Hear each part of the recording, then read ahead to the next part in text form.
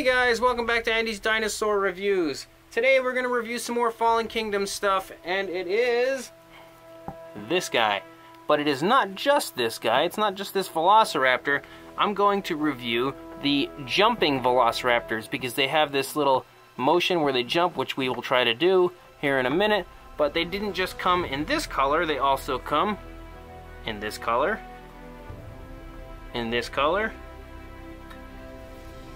and then in that one. So you get numerous different variations. All of these come in separate packs. This one here obviously is blue and he comes with an Owen Grady figure. This one is, I guess, supposed to be the raptor from the original Jurassic Park. It is part of the Legacy series. This one comes in a pack with a whole bunch of other dinosaurs. I think it has like two Gallimimus and a Dilophosaurus, a Pteranodon, Dimorphodon, it's uh, a pack at Target. I think it's $50 for the whole set, so you'll have to pay 50 bucks if you only want this figure, unfortunately, because they don't sell him individually.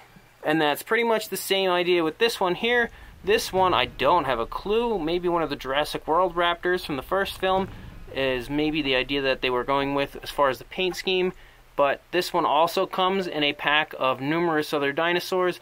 This one actually, I believe, comes with an Alan Grant figure, a Jurassic Park Dilophosaurus, and uh, a Gallimimus, and I think that there might be another one. I can't really remember, but uh, it is also available at Target for, I think, $40. So if you want this one, you'll also have to purchase him from that pack, and then this guy here, I assume is supposed to be maybe the Lost World Velociraptor, but I can't say that for sure. If you guys have an idea of who these ones are supposed to be exactly, then let me know. Because again, this one's a legacy figure. This is a legacy figure. This is a legacy figure. I don't think this one is because he's obviously blue.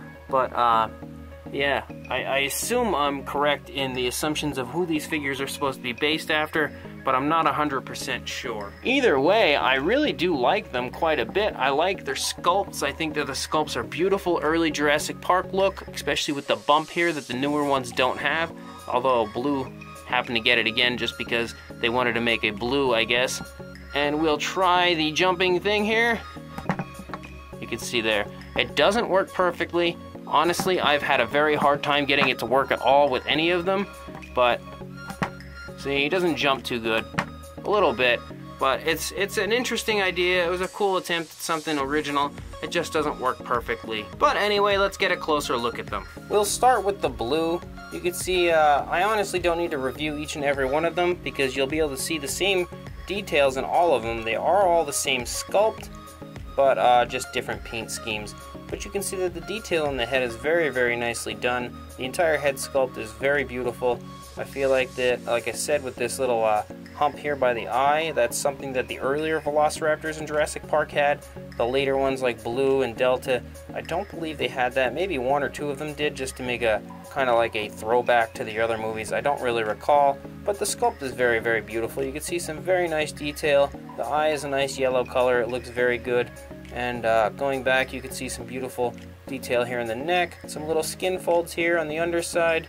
Unfortunately, you've got a seam here in the neck, but it's not terrible, and obviously you have a, seam here in the jaw, because it does have an articulated jaw, but actually, this blue, now I don't know if it's something with just the blue figures or if it's just this figure, but uh, his jaw, I can't even open it. Like, I would have to actually force the jaw open very hard to get the jaw to open on my blue, and it's the only one of the four that I have this issue with. I don't know why this has happened to him. I don't know if his jaw got warped sitting in the package or if it's an actual issue with all of the blues. So if you happen to have purchased this figure, this blue, you can let me know in the comments if you've had that same issue because the other three all work perfect, but this one, just his jaw is pretty much, it pretty much doesn't work at all. But you can see looking down here under the shoulder and stuff, beautiful detail. The hands look absolutely fantastic. The sculpt work is awesome all over. You see the arms are very, very articulated. They go out to the side, up, down. They're very, very bendable material, so you can move the hands and the arm all over the place. You can see some more fantastic sculpt work on the side of the animal. You can see this, these scales are beautiful, skin folds beautiful all over the place. A truly amazing sculpt, and even the blue streak going down the side is so nicely painted It Really, really looks very good.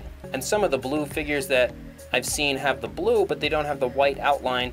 This one definitely does, so that's also a beautiful addition to this figure. You can see some very nice muscle tone here in the legs, and then down here into the calf. Kneecaps are there. Again, the Velociraptor's feet are quite large on these figures, but it's not that bad. It's again a standing issue to make sure they stand, I'd assume. You see the toenails are quite nicely sculpted. They're also very flexible. You can actually move the toes if you wanted to. And they have a beautiful gloss on them. The nails on the hands are not painted at all, but the nails on the toes are. The legs, unfortunately, do not move individually. The only way the legs will move is by pushing him down for his jumping motion. The neck, however, is quite articulated. You can move the neck and have him look wherever you would want, back and forth, and he can go up, and then, of course, down. And then looking back here, you can see some more very nice detail. Again, a seam here on the tail. The tail does not move. I don't know what the purpose really of the seam is, but it's there and the tail, like I said, doesn't move. You can see some very nice detail all over the place. Beautifully sculpted tail. So overall, the sculpt of these Velociraptors is really, really nice. You can see that there's just beautiful detail everywhere you look. I really feel like the Mattel Velociraptors are so close, so much closer, honestly, to screen accurate than even the Kenner ones, honestly, they just really, really looks screen accurate as far as the sculpt goes, minus the large feet, of course. And this one's a beautiful figure. It just has this mouth issue that I really wish it didn't have. But I guess it's not that bad. I just won't ever pose him with his mouth open. That one, as I mentioned earlier, comes with an Owen Grady figure, which you can see right here. He, uh, he looks okay. He doesn't really look too much like Owen Grady in my opinion, but he doesn't look that bad. I feel like the Alan Grant looks way more like Alan Grant than Owen Grady looks like Owen Grady, but it's not a bad figure at all. Very articulated, the legs move, arms move, all that fun stuff, the head moves. So it's a nice figure, but I'm more interested in Blue himself, who is now taking a nap, than I am in the Owen Grady figure, but they do look pretty good together. You can see as far as size goes, they are sized perfectly to each other, in my opinion. And then you've got the original Velociraptor, or at least that's what I assume it is. It uh, looks beautiful, really a very nice paint scheme. I love the darker coloration around the red eyes. The paint jobs on these guys I feel like is very, very nice. Quite beautiful. Looks good everywhere. This one has all the same, like I said, because they're all the same thing.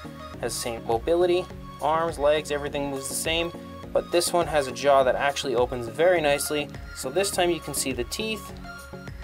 They're painted and sculpted pretty nicely. The inside of the mouth is that purple color, has a nice gloss in there. So it looks good and the mouth, like I said, works perfectly on this one.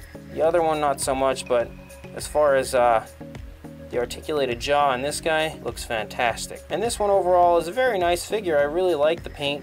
I like the entire look of it. So if it is meant to be the original Jurassic Park. It's not perfect as far as the coloration goes to the way they looked in that movie, but it looks very good. Then, as I mentioned, this one, um, I'm not sure if this is supposed to be a Lost World Raptor. Uh, otherwise, I don't know what it would be. It's part of the Legacy series, so that is what I would assume it is. Also has an articulated jaw, and the inside of the mouth is actually a slightly different color than the other one.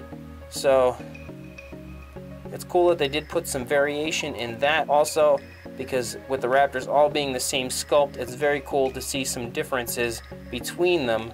And this one I also think is a very, very nice figure. I absolutely love the color scheme of this, whether it's supposed to be Velociraptor from the Lost World or not. It's got some very nice orange here on the head with some darker coloration around the eye, and then the darker uh, brown here that runs the back, really darker orange arms and then like a yellowish color and then white on the underside. So as far as the paint on this one goes, it really, really looks quite nice. And then there's this guy here who also, like I said, all the articulated jaws work perfect on these guys. And this one kind of, I'm not sure if his mouth is the same color as the last one or also a different tone.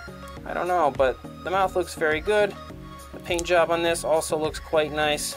I think it's supposed to be a Jurassic World Raptor, maybe Delta or Charlie. I don't know. I always get those ones confused as to who is who. Never really paid too much attention to which Raptor was which in that movie. It looks pretty good. I really like it. It's very striking paint scheme. Different variation in color put all over the place. makes it look quite beautiful. Again, all the articulation is the same, same jumping gimmick and everything else, but also a very nice raptor. So a beautiful pack of Velociraptors. This is not all the Velociraptors that are out there for Jurassic World Fallen Kingdom. There are quite a few different ones and there are even more on the way. These are just the four that I've found that do the whole jumping deal. They're all the same sculpt, have all the same gimmick as far as the jumping thing goes. Just different paint schemes. So they all look very cool. You can have a very neat Velociraptor pack and then pose their heads in different fashions to give them a little bit of uh, their own flavor if you want to pose them and put them out for display. As far as the size goes, I only really need to measure one because they're, as I said, all the exact same sculpt. And he's about eight inches long. His tallest point probably be his tail, which is uh, almost four inches, a little under. So they're all a pretty good size, definitely nicely sized Velociraptor figures. For a size comparison, we'll bring in Papo T-Rex. I'll actually move these guys apart so you can get an idea of how big so he's not in the background. But there you go, you can see that they're definitely smaller than him, but they're a very nice sized figure. Not small at all by any means, definitely a good sized Velociraptor toy. As I mentioned earlier, the prices do vary on these guys. This one here is about $10, you can buy him individually. This one, I believe, is in the pack with, uh, I think, four other figures, and he's about $40. This one is in the pack with five other figures, I think, and he is $50. And the blue is in a pack with Owen Grady, who just happens to be drunk and fell over, and he is $15, I believe. Well, now they're all gonna eat Owen because of his drinking problem. Unfortunately, to get the entire pack, like I said, you have to buy them all individually because you can't buy them all together. But if you're like me and you want to buy all the figures, it's not an issue because you got to get to it anyway. I am having a terrible time with this obsession over these new Jurassic World Fallen Kingdom toys.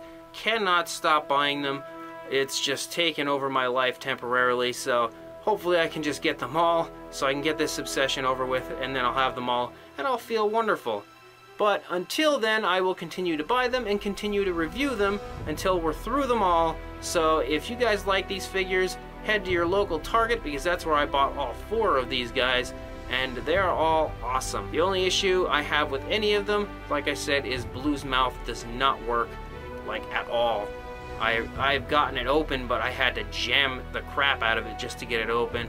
So Hopefully you don't get one that has that issue, but other than that, all four are absolutely awesome in my opinion, and even little Owen Grady down there with his drinking problem is also a pretty good figure. So if you do want to get these guys, as I said, head to your local Target. I would put a link in the description, but so far I have not found any on the Target website, but I haven't checked in the last couple days, so I'll have to check again. Either way, if you want to see more Jurassic Park Fallen Kingdom figures, definitely hit that subscribe button, and I will see you guys in the next review. Thanks for watching.